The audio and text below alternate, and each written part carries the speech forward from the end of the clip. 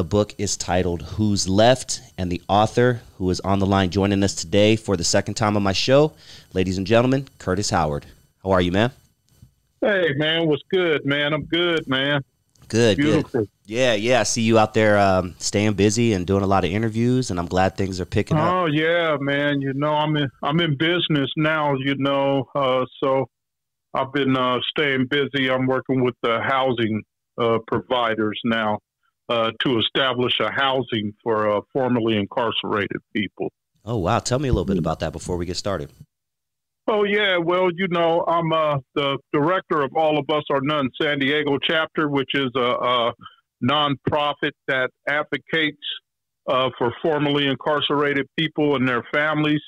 Uh, you know, I'm a writer. Uh, one of the housing providers uh, read an article that I did about homelessness, uh, invited me to represent uh, formerly incarcerated people uh, when it comes to homelessness, and uh, and took me on. I've actually just recently got a two year contract with them, and uh, it's all good, you know. So I talked to different housing providers, different agencies on some of the barriers and obstacles that formerly incarcerated people face uh, when it comes to housing. You know. Mm. How hard so, is it for a former uh, inmate to? Oh man, it was such a big problem with me. You know, it stood me up for a long time. Even when I transitioned my mindset uh, to transition and, and and you know to try to and uh, become productive and make something out of my life. Well, I wanted to do it, but I also didn't anticipate the barriers of being able to find housing, and it took me. Uh, it kept me in a vicious cycle of staying in the system, man, because you know I wasn't, I didn't have stable housing. So when when you don't have that, it keeps you on the street. It keeps you on survival mode. You know, you might have a place here and there.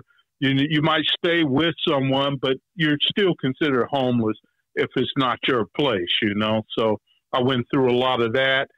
Uh, still end up uh, with doing a couple violations, you know, and everything. I just couldn't get my shit together without stable housing. So uh, it, it, it, had a huge impact, you know, on me uh, being able to succeed, you know, and stay afloat. So when I finally did get it, you know, I kind of dedicated a lot of time uh, toward making sure uh, nobody else has to go through that, uh, knowing what, what it's all about, you know. Mm. Yeah.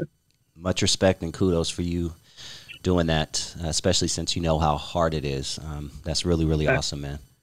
Absolutely, man. Absolutely. Yeah. Man, I've, I've actually paroled to the streets, homeless. Actually paroled, uh, pulled up at the Greyhound bus station and hit the sidewalk from prison and not really having a plan or nowhere to go. So uh, your boy been through some ups and downs, you know and uh, but it's all good, man, and that's why I give back now. You know. Yeah. Well, I mentioned your book at the beginning, Who's Left? And if anyone wants to check out my first interview with Curtis Howard, just type in Dusty Vision San Diego, Dusty Vision Rolling 40s, Dusty Vision Curtis Howard, something along those lines, and you'll be able to find the first interview that we did. Uh, a couple of things that um, we kind of briefly touched on, but we didn't get, get, get too deep in the first interview that um, I would love to uh, discuss with you.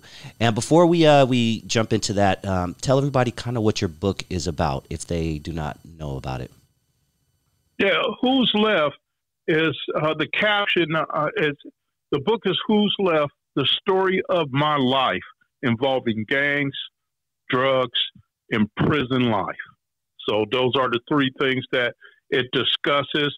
Uh, when I discuss, when I say who's left in the book, it means that after going through all of these things that people go through, because I'm not the only one, is that it shows that it's very few people left in the end. So my book starts with a lot of characters. Everything's true in my book. The names are true in my book. It starts out with a lot of characters that's mentioned in the book, when you get to the end of the book, you find out who's left.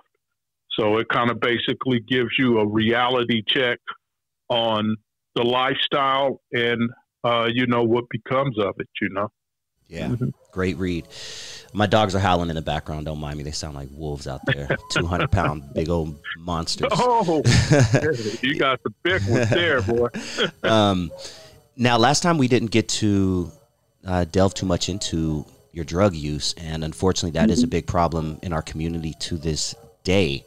And um, that was a big impact on your life. Um, can you can we talk about a little bit about you know what uh, your your journey through drugs? Like, did you start smoking weed, and then just like like talk to me about how you got to where you got when it comes to the drug use? Oh, absolutely, man. Uh, you know, uh, when I was young, you know, we smoked uh, weed, you know, but weed wasn't like it is now. You know, weed is like chronic now. Yeah, yeah, the four finger know? lids, so, huh? Yeah, we we smoke Acapulco Gold you know, uh, commercial was yeah. there you go. Uh, the, the, the commercial was the Reggie, uh, you know, and uh, and the Colombian Gold was the good shit, and uh, the purple hair cess was like top top shelf, uh, you know. So it kind of just started out with that. I smoked a little weed, you know. I wasn't never really a, really big weed head then, uh, but I smoked it, you know, and uh, that was about it. They had PCP came out uh, a little later at that time, but I was afraid of it. I saw a couple of people smoke it, and I saw what they did after they smoked it, and I was like, man, I don't even want to try that shit, you know, because everybody that I see smoking it, you know, was like flipping out, taking their clothes off, running down the street, you know, and and all that stuff. So I didn't really have a problem with that. Uh, but uh, later on in the in the so so in so from that time uh, in about like seventy seven when I first uh, uh, came involved with the Crips, you know, it was just a little beer here and there and a little weed, and, and then in eighty five, this was years later, I was incarcerated and someone was came in talking about crack they were talking about, oh man, there's some new shit out here. It's crazy, man. It got people doing all kind of stuff. You know, it's like he was like laying it out to us, and we was like, man, that sounds like some crazy shit there. You know, he's like, yeah, everybody's, you know, with this man. You know, and uh, and I came home and I seen the streets kind of lit, you know, and I seen what was going on, but I didn't mess with it you know.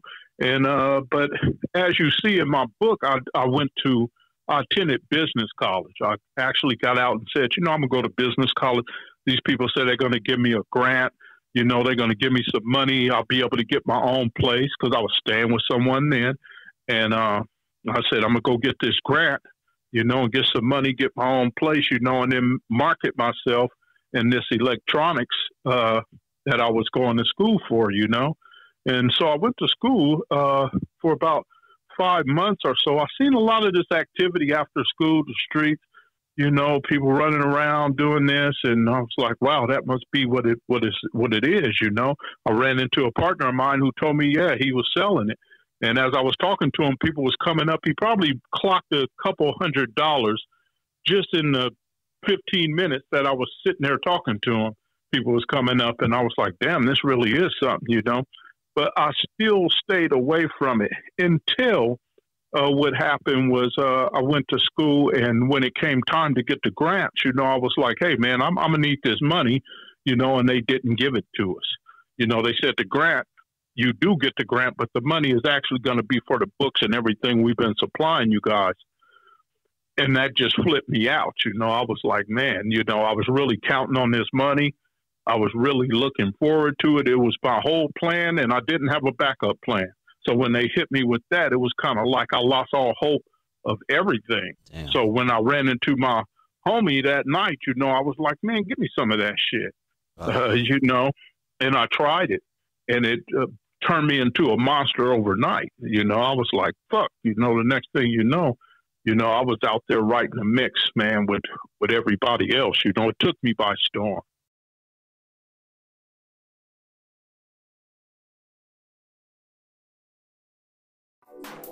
Just give me a little bit of peace. Steady job and some food to eat.